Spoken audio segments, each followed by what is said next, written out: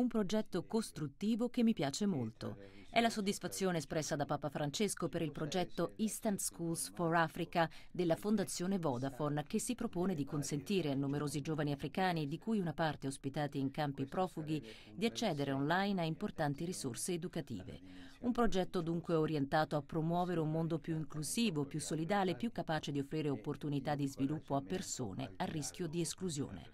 Il pontefice ha poi auspicato che i giovani vengano aiutati a usare questi strumenti in modo libero e critico e possano avere l'accesso informatico ai testi sacri delle varie religioni in diverse lingue. Oggi bisogna essere costruttivi, fare, fare cose che portino l'umanità avanti e non soltanto vedere come cadono le bombe sopra, sopra persone innocenti, bambini ammalati, città intere. No. Costruire, non distruggere.